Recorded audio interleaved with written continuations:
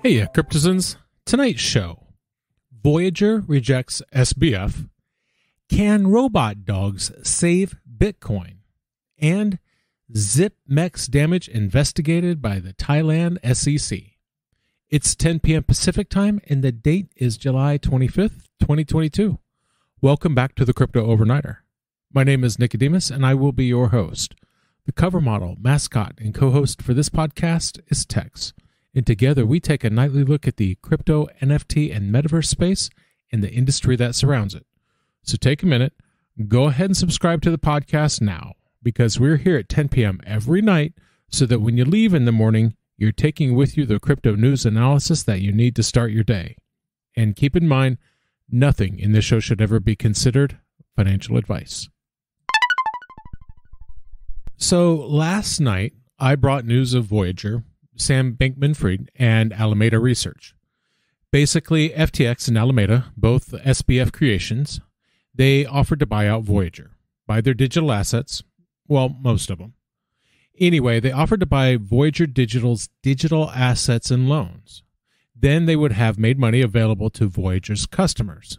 They would have gotten a cash disbursement in an FTX account. And then at that point, they would have been free to do whatever. Then, if you get any money at all, the amount of money that they give you early would be an advance, and that would be taken out of whatever money comes out of the bankruptcy proceedings, money that you would be getting back from your claims. They also said that even if you don't take the offer SBF is making, then you're fine. You're not going to miss out on anything other than the chance to get some of your money back earlier than you would have, which could be a real advantage right now. Voyager Digital rejected FTX and Alameda's offer to buy out their digital assets. They did so on the grounds that the offer isn't, quote, value maximizing and that it potentially harms their customers. They filed a rejection letter in court on Sunday. Voyager's lawyers were not impressed with the offer, but they also took issue with the very public way that the offer was made. They said making the offer public could jeopardize other deals that they were damaging a quote, coordinated, confidential, competitive bidding process. They said Alameda, quote, violated many obligations to the debtors and the bankruptcy court. And Voyager said that their plan is better, that it would be prompt and it would return all of the cash and most of the crypto as much as they can. They said that the Alameda offer was, quote, laden with misleading or outright false claims. Their lawyers said this deal is just a way to get Voyager's assets for cheap, and that it's not a bailout but a liquidation of assets, quote, on a basis that advantages Alameda FTX. And they raised some valid points, you know, like capital gains taxes, like the elimination of the VGX token. They said that that would, quote, destroy in excess of $100 million in value immediately. Now, SBF responded in a late night Twitter thread, he told his 750,000 followers that Voyager's customers have, quote, been through enough already. And he's with me. The resolution of this bankruptcy could be years in the making, which is why the SBF deal protects customers. It doesn't exploit them. Here's what I mean the market is ice cold lately. We had a brief suckers rally, but the macro hasn't changed lately, and the market has definitely cooled off which means this could be a big advantage for Voyager customers now rather than later, because it would be preserving the customer's value. You know, people could get their money now and invest it. If what many technical analysts and bystanders agree is true, this market could snap out any time now. You know, people could be investing their money right away at its present value. Otherwise, look at Gox. Mount Gox was hacked back in 2014, and they still don't have their money yet. That's how slow the courts are. Now, think about the effects of inflation over this period of time, especially right now when inflation is bad and getting worse. So, giving people access to their money now so they can use it now and benefit from it now, and most importantly, reinvest it now rather than later, rather than four or five or 10 years from now when your asset is so devalued it's not worth anything anymore. That's if you get anything out of them at all. You know, 3AC was their biggest debtor. Most, if not all, of that capital has already been claimed or has been liquidated. So I don't know that they're going to get much back anyway. So, to my mind, it seemed like a good deal that Voyager was offering. Clearly, opinions vary. You know, frankly, I think this deal would have been a bit of hope for Voyager's customers. I know I'm one, and I think the lawyers for Voyager are going to drag this on and milk this for all it's worth, and then some. Sadly, we lost the trillion mark. At the time of writing, the global crypto market cap is at $994 billion. It's down 4.52%. The top five cryptos by market cap are Bitcoin down 4.46%, Ethereum down 7.7%, Tether, USDC, and Binance Coin down 4.64%. Can robot dogs save Bitcoin? Now, when I ask that question, I mean robot dogs, not an algorithm, not a program, not an app, not an allegory, not a dog themed meme coin. No, I mean literal robot dogs. And I don't mean all Bitcoin, just a bunch of them, trapped behind some lost private keys.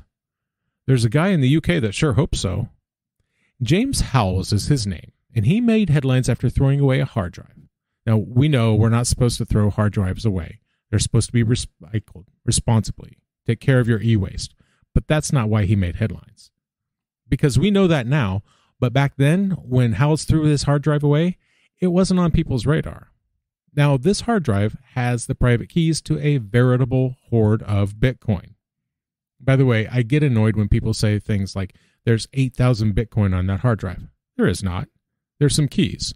Losing the hard drive doesn't mean those Bitcoin went away. They're not lost. You, can, you just can't access them.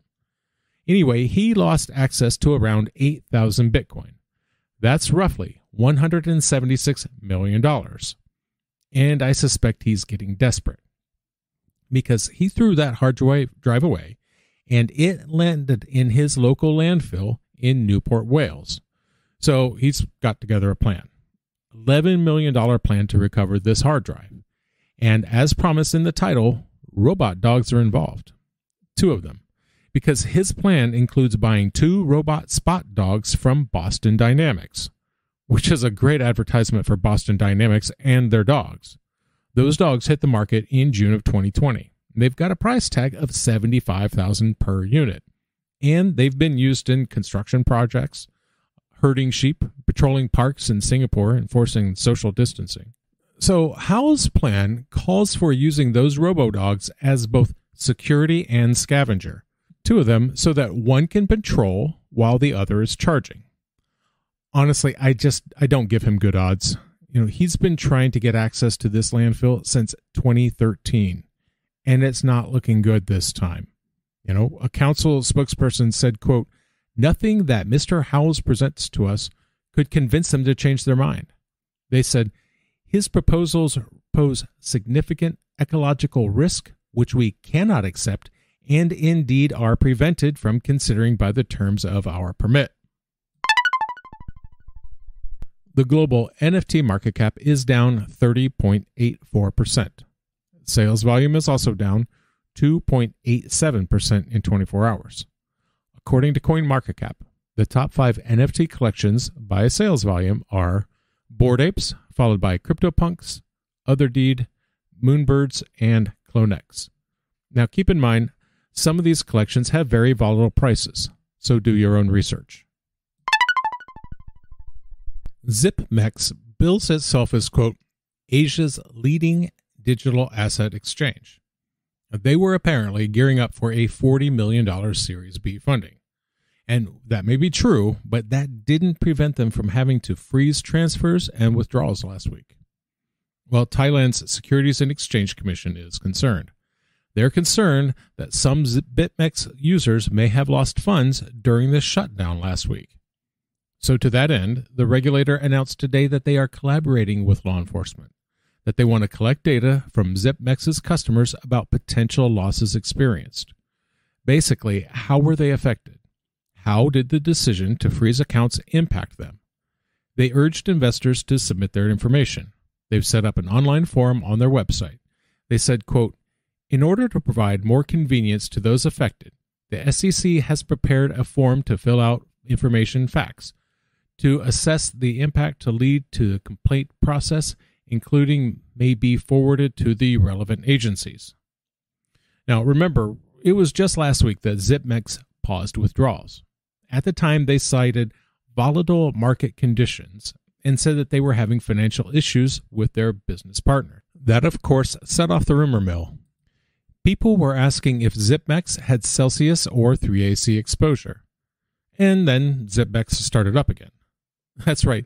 Less than 24 hours later, ZipMex's customers were able to access their accounts.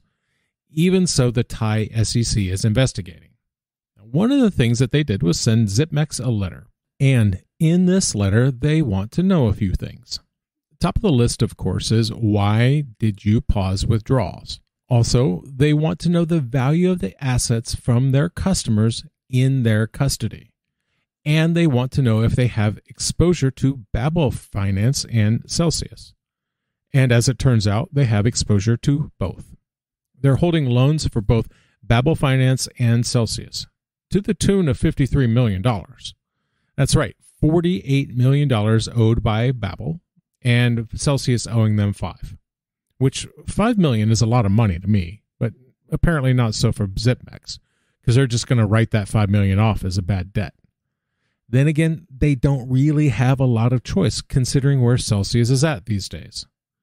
In the meantime, they said that they're in talks with Babel. It's always good to have a little insurance, and it looks like ZipMex follows that philosophy.